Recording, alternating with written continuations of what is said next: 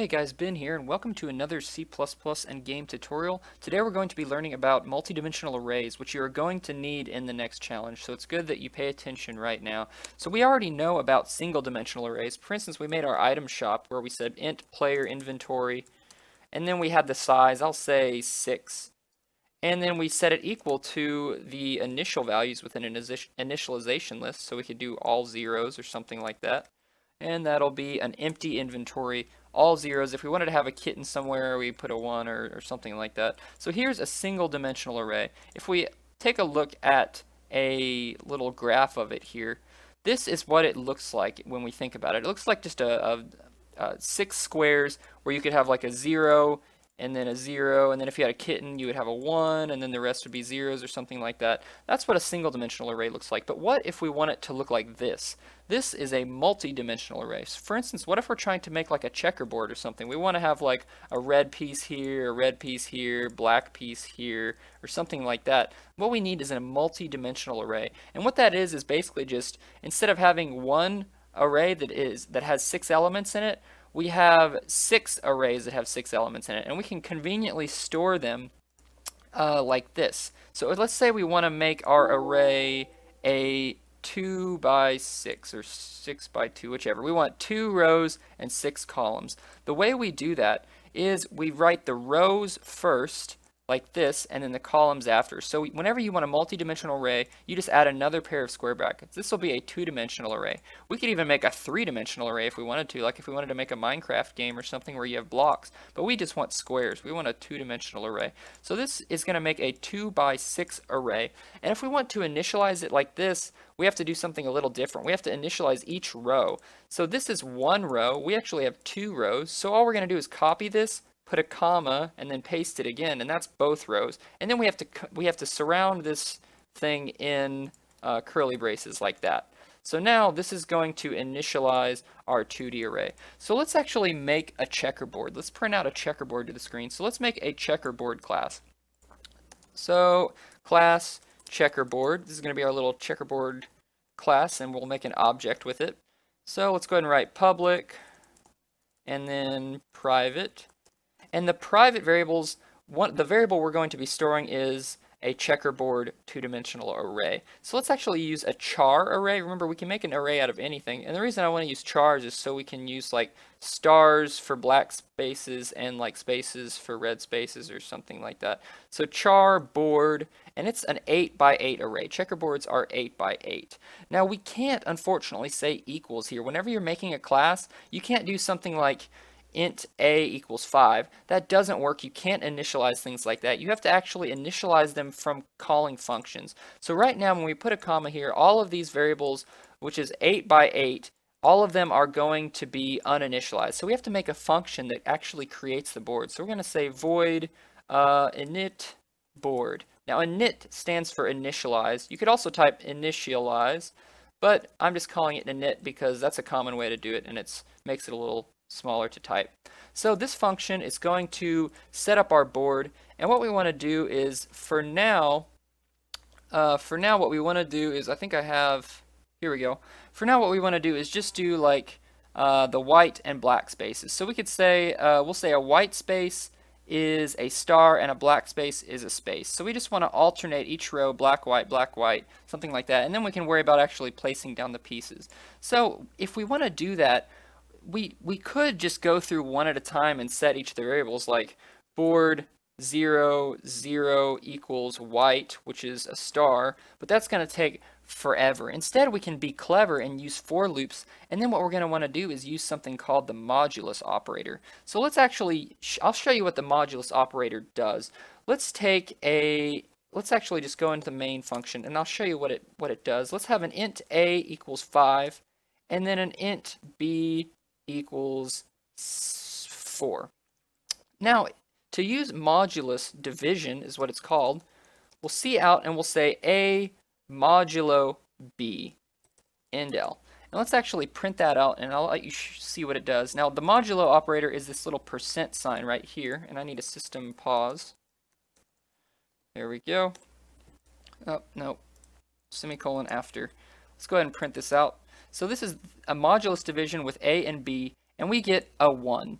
The reason we get a 1 is because what modulus division is with this percent sign right here is it's whenever you take a number a, divide it by b, and then get the remainder. So you only do this with integers. If we take a, which is 5, and divide it by 4, 4 doesn't evenly go into 5. If you've ever done like long division on paper in elementary school or something, you always have like remainder 1, remainder 2 at the end or something like that. So in this case, 5 divided by 4 is going to be remainder 1, so we're going to get a 1 here. If this was a 7, we're going to get a remainder of 3. Let's print that out and see.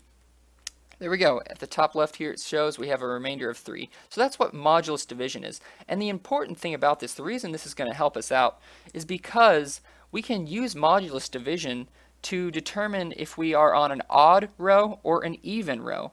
If we have int a equals 3, whenever we type a modulo 2, that's going to tell us if we're on an odd or an even row. If modulo 2 is 0, for instance, 2 divided by 2 has no remainder. If modulo 2 is 0, that means we are on an even row.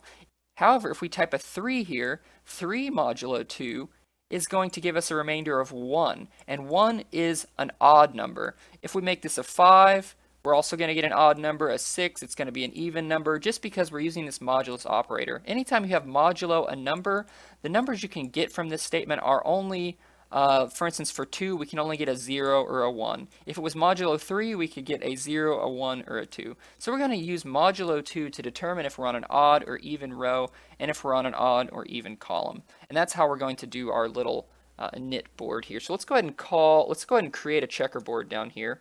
Let's make checkerboard, checkerboard. And then let's go ahead and call checkerboard dot init board. And then we're going to make a function to print it, checkerboard dot print board. So let's make a void print board function too. Void print board. And that'll be a really easy function. We'll write that in a minute. So first thing we want to do is initialize the board. So we're going to use for loops. For int i equals 0, i is less than 8 because that's the size of the board, i plus plus. And we're actually going to nest for loops. We're going to do another for loop inside of this for loop. The reason is, what we want to do is we want to take our two-dimensional array and we want to visit the nodes in a certain order.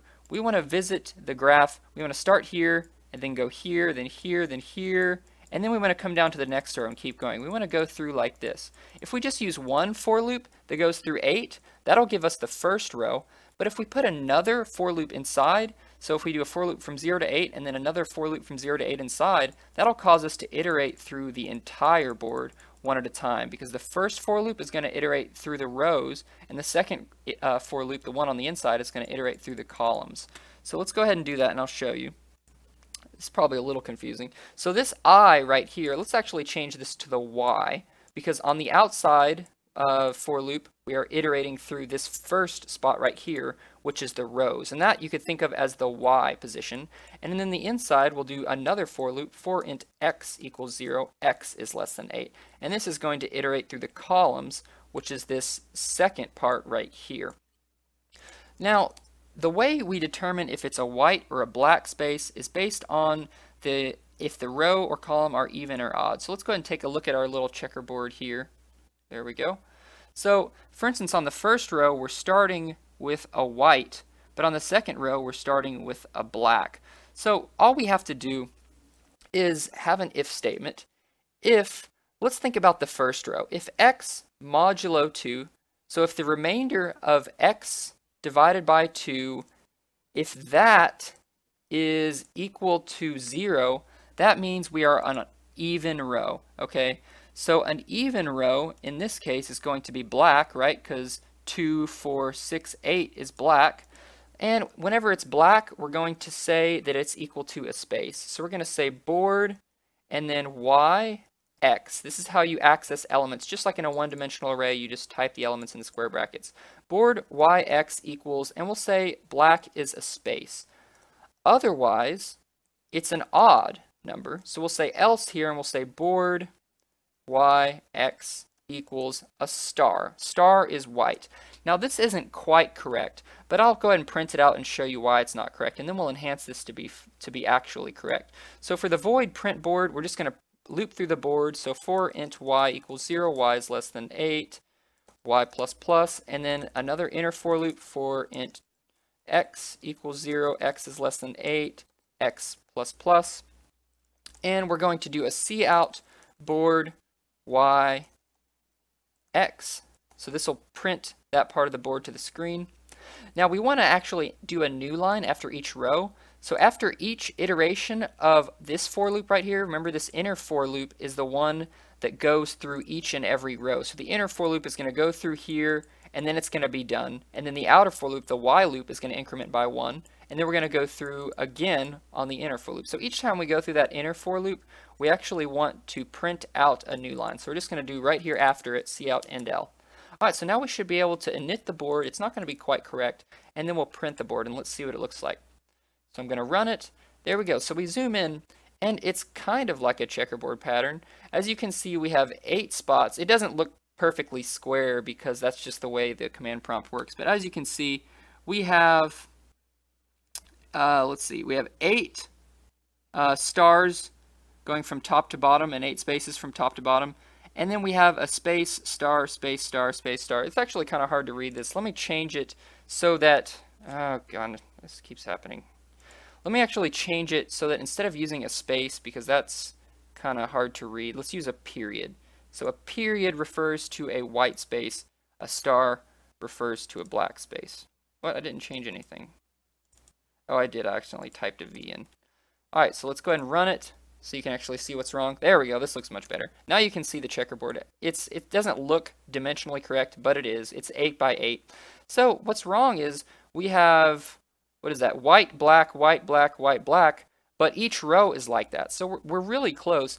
All we have to do to fix this is to change it so that instead of doing x modulo 2, we say x plus y modulo 2. So if we're on the first row, it's going to add, uh, if we're on, we're on the very beginning row, y is going to be equal to 0, so it's not going to change anything, so it's going to be the same. If we're on the second row, which is y is equal to 1, we're going to be adding 1 to this variable, which is going to mean if before it was even, now it's odd. If we're on the second row, y is going to add 2 to it, but whenever we add 2 to something and we're doing modulo 2, it's not going to change it, so we're just going to get 0 again. So that's probably a little confusing. You don't actually really need to know this for the next challenge, but uh, hopefully you kind of understood it. Now if I zoom in here, you can see we're properly getting the checkerboard pattern like before, and then we could write another function that actually places down the pieces if we're clever enough. I urge you to go ahead and try to do that. That'd be a good way to get some good practice with a multidimensional array.